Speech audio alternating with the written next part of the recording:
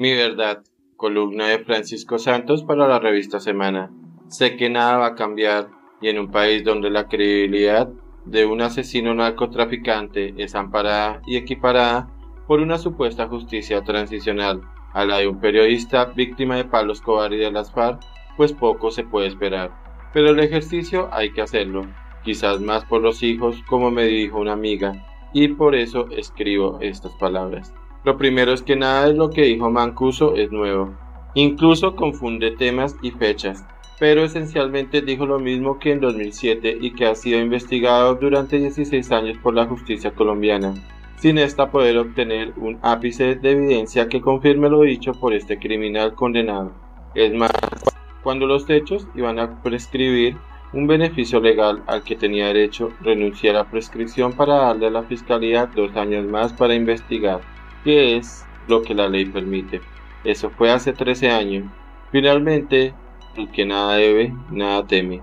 En el proceso conté todos los detalles de mis dos encuentros con Carlos Castaño, como periodista y activista de derechos humanos. Es más, de la primera de estas reuniones el señor Mancuso, quien me recogió en el aeropuerto de Montería, y por lo tanto no estaba imputado o acusado de ningún delito, salió la visita al tiempo a reunirse con la unidad de paz que se conformó años antes, precisamente para explicar mejor toda la violencia que vivía Colombia en esos momentos y que tenía acceso a todos los grupos armados ilegales de entonces.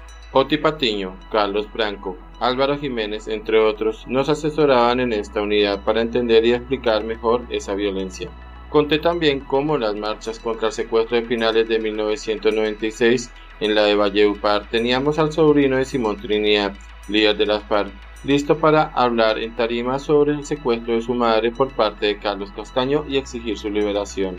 Al final, la familia lo impidió por ser él un menor y para no aumentar el riesgo de la familia. Al finalizar la marcha en Valledupar y ante la petición de innumerables víctimas en la plaza a donde habíamos llegado después, busqué al líder del grupo paramilitar que allí actuaba. Mi sorpresa fue inmensa, pues estaba liderado por Mancuso, a quien le pregunté con nombre y apellido por esas personas que había secuestrado. La mayoría los habían desaparecido, pero a las familias les pude dar por lo menos esa triste razón. Desde que creamos con mi esposa País Libre, la fundación apoyó a las víctimas del secuestro y a sus familias sin importar quién era el victimario. Nuestra labor humanitaria, la libertad, nunca tuvo color político. Ante la falta de pruebas, el proceso se cerró en 2008 y se dictó un auto inhibitorio. Pero como me lo dijo el mismo fiscal general de entonces, se tuvo que reabrir por la presión de las organizaciones de derechos humanos en 2009. Después de este hecho arbitrario fue que con mi abogado decidimos renunciar a la prescripción para que no quedara dura de mi compromiso con la justicia y la verdad. Qué ingenuo. No me interesa ni siquiera hacer la mínima investigación sobre el bloque capital y su fundación, que se dio en 2001, cuatro años después de la reunión de Castaño.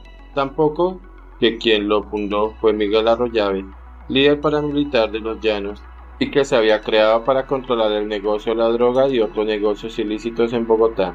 Es más, hay procesos en los que se preguntó a los verdaderos miembros sobre este tema y claramente desmienten a quien desapareció campesinos, asesino inocentes y pues traitado por ser narcotraficante.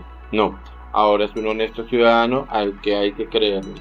Y viene por pura coincidencia la versión libre de la JEP, sin contrapreguntas, frente a un auditorio de periodistas que ciertamente no habían hecho la tarea de investigar al personaje, su historia y sus denuncias. Parece tanto la JEP como los periodistas igual de informados sobre un delincuente de esta magnitud poner en la picota pública sin derecho a réplica a una persona, cualesquiera que él o ella sean, forma parte de esta justicia restaurativa o es otro tipo de victimización. Lo cierto es que la JEP no tiene el mismo rasero con los distintos victimarios y con las víctimas de los distintos grupos. Por eso, de manera pública, le pido a la Fiscalía General de la Nación y al Fiscal General Francisco Barbosa que por favor levante la reserva al sumario de mi expediente y se la mande a la JEP para que vean que este delincuente no es serio y los está engañando. Así no sirva de nada, no importa.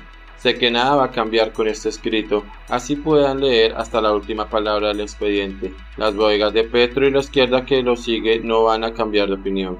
Solo les interesa su verdad, su paz y sus víctimas. Solo creen en una justicia. De ahí la salida de madre del presidente con Barbosa, Quien no se pliega a sus peticiones y lo que no esté en sus creencias o en sus narrativas pues no existe y se elimina. Así la evidencia muestre lo contrario. Por eso titulé este escrito Mi verdad, pensando en mis nietos para que entiendan lo que hoy vivimos.